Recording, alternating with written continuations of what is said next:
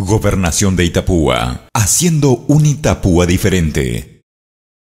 Es un espacio de lectura que está, está habilitado desde el 9 de marzo y tenemos un horario de atención de 7 de la mañana a 5 de la tarde continuado. Se extendió esto, primero era mediodía. Hasta, hasta mediodía, pero después vimos la necesidad y también eh, a pedido de algunas personas de los colegios que, que, quieren venir a la tarde, entonces se vio la manera que podamos extender hasta las 5 de la tarde. Inclusive ahora tenemos también un proyecto que queremos poner en práctica posiblemente muy pronto, después de las vacaciones de julio, este, un día, un sábado al mes, ¿verdad? Donde podamos este, traer a niños y donde se puedan este, instruir con libros, lecturas, cuentos, narraciones, un día de pintura, un día de camping donde ellos puedan venir a disfrutar del libro, que, que le agarren el cariño al libro, a leer, a la lectura y que vayan creciendo con desde, eso. Desde pequeños. Desde pequeños, que se interesen en la lectura. Ese es nuestro objetivo, que Itapúa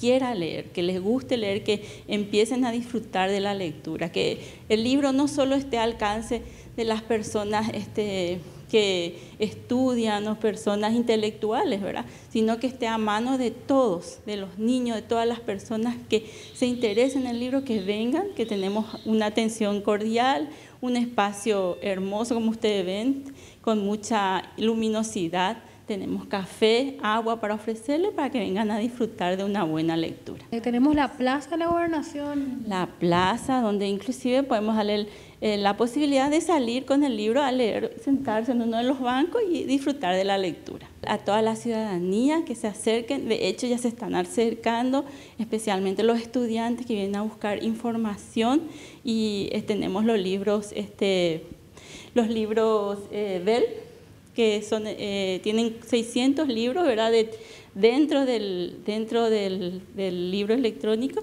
y ellos pueden este, buscar la lectura que más les interese. Tenemos de todos los autores, autores nacionales, internacionales, novelas, libros de cuentos, trabalenguas, así que está para elegir. Gobernación de Itapúa, haciendo un Itapúa diferente.